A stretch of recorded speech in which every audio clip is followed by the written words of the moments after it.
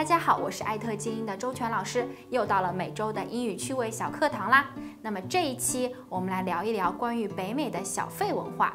因为上几节课啊，给大家讲了好多的英语单词，那么这节课呢，我们就以知识传播为主，稍微轻松一点啦。好，小费这两个单词啊，相信大家不陌生。那么为什么要给小费呢？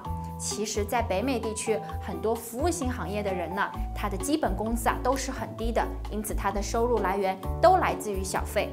小费、小费这两个单词到底是从哪里来的呢？我们来看一下，有两个单词可以表达小费。第一个单词叫做 tips，第二个单词叫做 gratitude。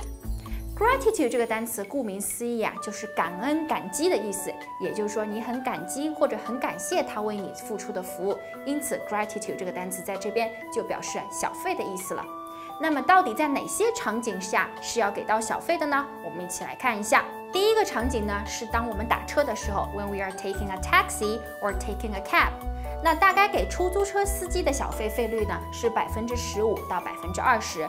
特别是当行程结束的时候，那么这个时候呢，你就可以把小费的费用结算在总的费用里一起给到他。第二个场景呢是餐厅，通常餐厅给到的小费基准的就是百分之十五。当然，如果你是土豪，你也可以给很多很多小费，上不封顶。但是如果你不给小费，会发生什么事情呢？通常来说，餐厅的经理会跑过来跟你鞠一躬，然后说：“哎呀。”您对我们的服务有什么不满意的地方吗？那这个时候你就很尴尬啦。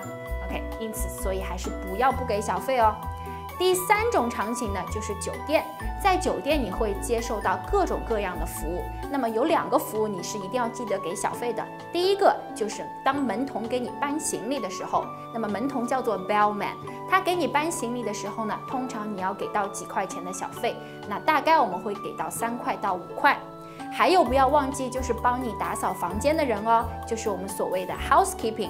那 housekeeping 呢？你大概每天给到两块到三块的小费，留在床头就可以了。当然也不要给非常多的小费。如果你给很多很多钱，housekeeping 的人呢是不敢拿走的。好，那么之前讲到的都是一些比较常规的场景需要给到小费的，还有一些是大家意想不到的。比如说第一个场景啊，就是点外卖的时候啊，在国外点外卖的时候，当外卖小哥把东西送到你门口的时候呢，你大概需要给到百分之二十的小费。因此在国外点。外卖的成本是很高的哦，啊，那还有什么呢？比如说你去剪头发的时候，你需要给这个发型师小费；你去做指甲的时候，你要给美甲师小费；你去做美容的时候，你要给美容师小费；甚至你去搬家的时候，搬家公公司的工作人员你也要给他小费。还有一个很神奇的场景呢，就是如果你开车去加油，而那个加油站恰好有人是帮你服务，比如说他帮你擦了个窗，或者帮你加了个油，那么这个你都是要给到小费的。OK，今天给大家简要介绍了一下北美的小费文化，那么也是希望大家在美国和加拿大旅游的时候呢，可以避免一些尴尬的场景。